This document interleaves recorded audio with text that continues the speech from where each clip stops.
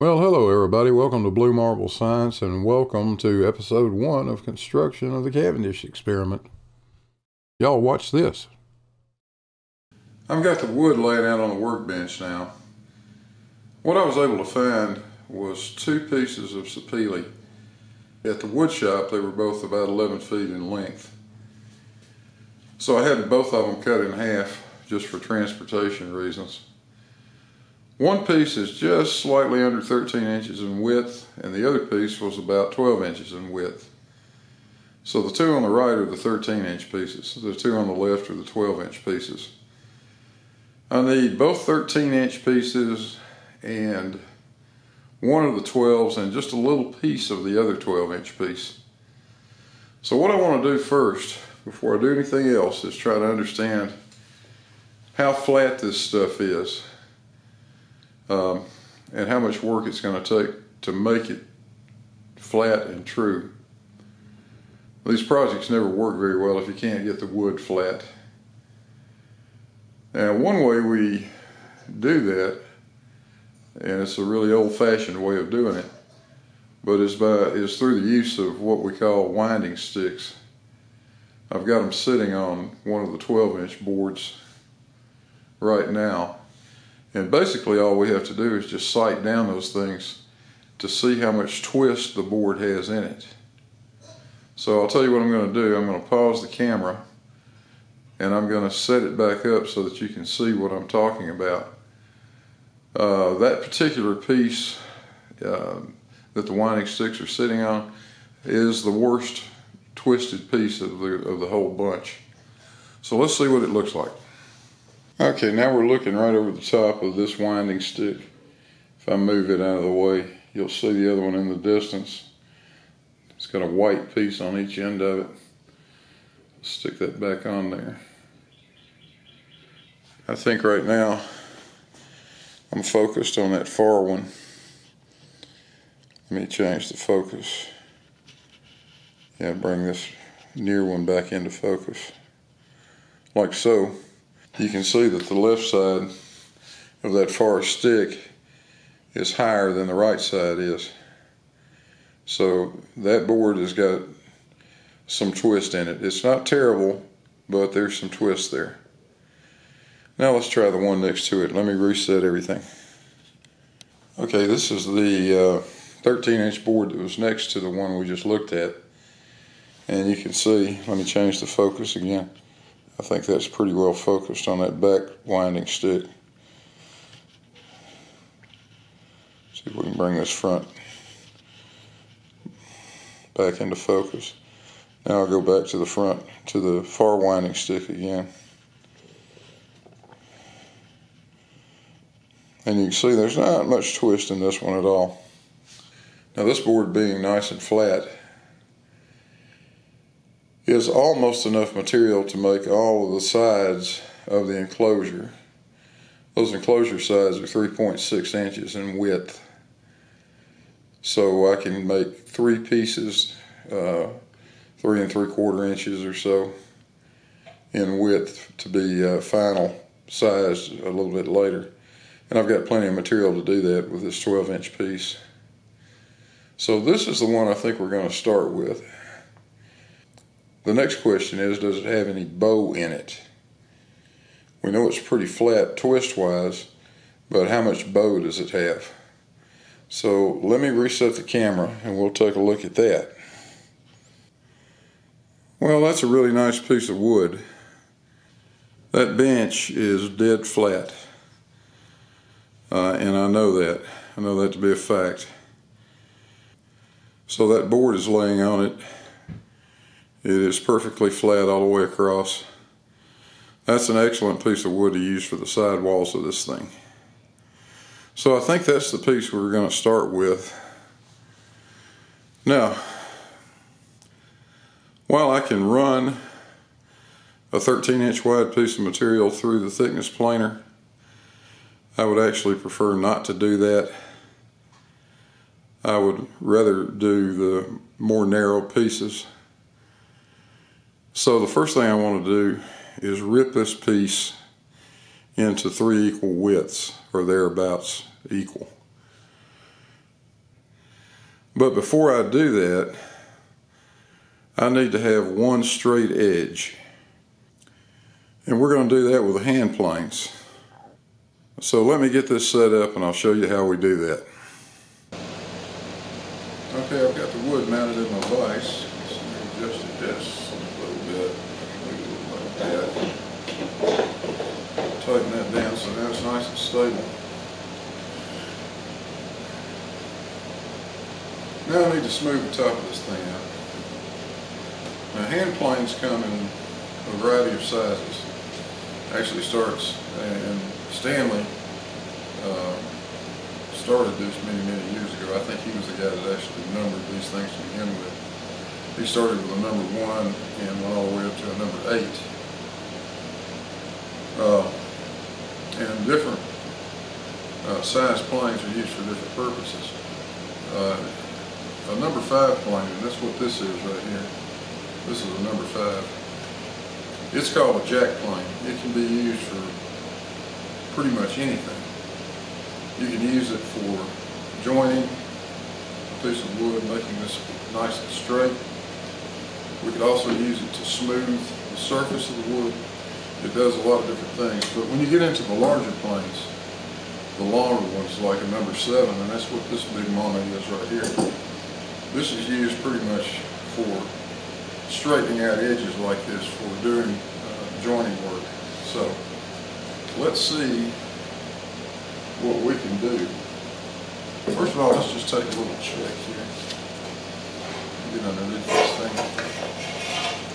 Got a nice straight piece of aluminum. It's fairly flat. It's actually not too bad. Not too bad at all, but it's not smooth at all. And I know if I put the square on it, it's not square. You're not to, probably not going to be able to see that. There's a big gap. This side over here is high. This side toward me. So let's see what we can do with this.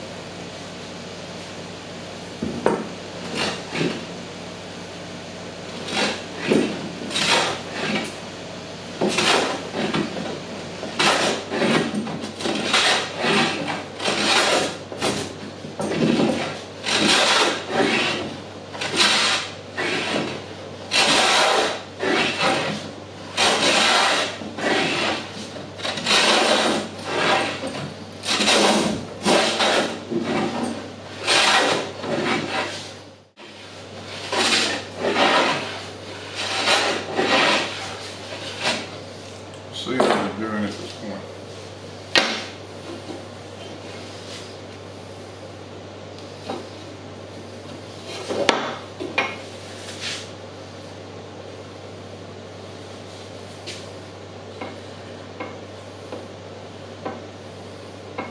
It's a little bit low all the way back here on this back end, right under there. I don't want to do too much to that. That's just the very end of it. And we'll probably lose that anyway.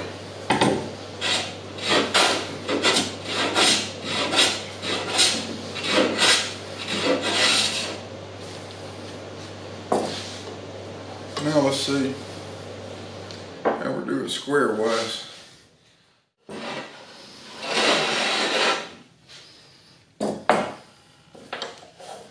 And let's see what we got. There we go. Square, square, square, square. Looking good.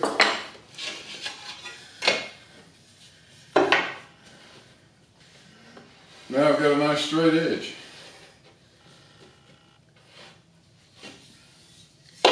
So that's what I got to do to each piece. So with a nice straight edge planed on three of the four boards, I decided I would just leave them the full width and run them through the thickness planer. But before I did that, I wanted to make a quick sketch and make sure the pieces would fit on these three boards. And as you can see, it's no problem. We've planed a nice straight edge on three of the boards. And I changed my mind. I think I'm going to go ahead and thickness all three of these while they're still the full width. the planer can handle it, so why not? Now this is going to get loud. In fact, it's going to get so loud I doubt you're going to hear anything I'm saying. So first I'll turn on the dust collection.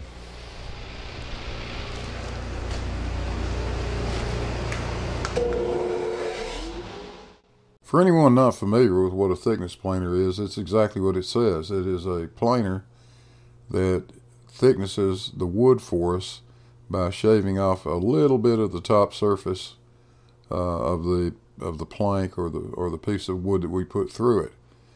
So we run it through one side and then we flip it over and we run it through the other side and we keep alternating back and forth until we get the thing down to the thickness we like.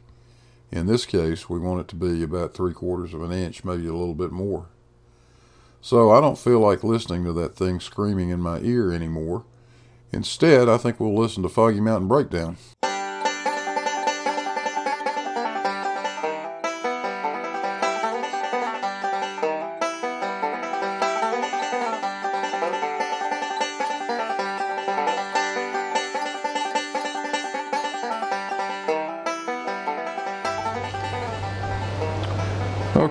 Finished with the planing operation. And this wood is absolutely beautiful. Uh, I have planed all this down to 0.76 inches thickness. So it's about uh, uh, 0.01 inches too thick at the moment, which is fine. I'll be uh, ending up taking that much off probably just uh, scraping and planing it. So we'll end up right at nominal three quarters of an inch thickness. But just have a look at the wood. Let me put this thing back on autofocus. Zoom back out a little bit. Over on the far side of the bench, you can see what the what the wood looked like to begin with. That's the piece that hasn't been planed. And then you see this uh, beautiful sapele after it's been run through the thickness planer. So, take this thing off of here before it falls. Now, the next thing will be to uh, start sizing this stuff. So I've got straight edges, true edges, this one edge, the far edge isn't. So the first thing I'll do is run this through the table saw, this edge against the, the rip fence, and I'll take off just, only just as much as I have to take from that, that very far side to true it up.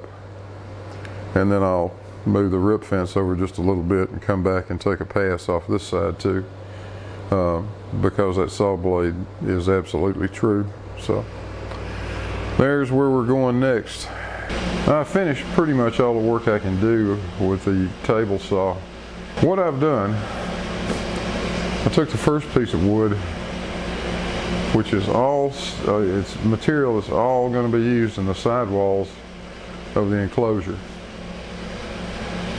so all of that is exactly the same width. It is uh, 3.6 inches wide finished. So I was able to get three, uh, three and three quarter inch wide strips out of that one piece of uh, sapele. And uh, I clamped them together, put them in the vise, and then I've taken the uh, number five and a half plane you see sitting there and smooth those edges. Got them all exactly at the same level and got it perfectly straight with a straight edge and using the uh, machinist squares that are laying there. So the next operation is going to be to flip this over and do the same thing on the other side but this time we'll take it down to exactly 3.6 inches wide. This is a really good way of doing this rather than trying to mess around with individual pieces. Just make all three of these identical and then whatever piece I cut out of it is exactly the same width as any other piece. So that saves us time in the long run. But That's where we're at with this part of it. Let me flip it over and do some more uh, hand planing. Be back shortly. You know, the one thing you guys are missing, and I really wish you could experience it, is the smell of this sapele. It's got a great aroma to it. Thought I'd do a little bit of planing for you. The planing operation worked just fine. I got all three of the boards exactly the right width, and everything looked good until I took the clamps off the three boards. And one of them, well, I'll tell you what, look for yourself.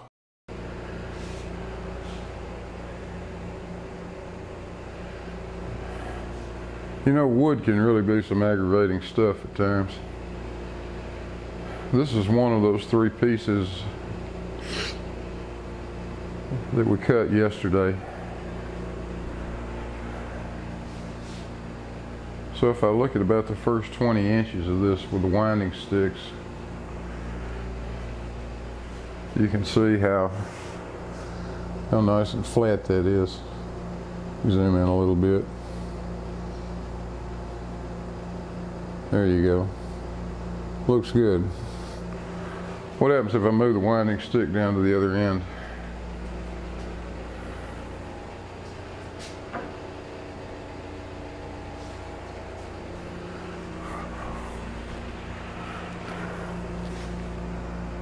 Rut-row.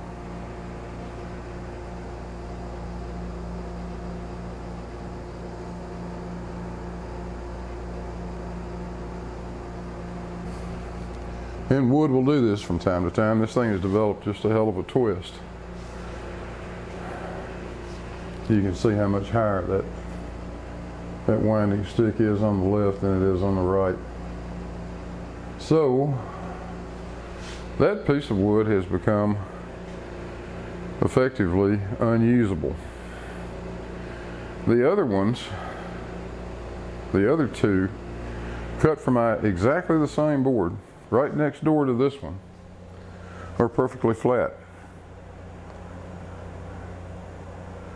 They have no issue at all, but this one is twisted. Well, that's wood, never a dull moment. There was a happy ending. I was able to get enough material out of the other piece of lumber that we had and flatten it sufficiently to be able to make all of the pieces we need. So we're in good shape. Next we need to cut these things to length and start making some joints.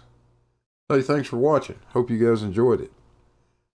Stay tuned. There's going to be a lot more of this. Don't forget to hit those like and subscribe buttons down there.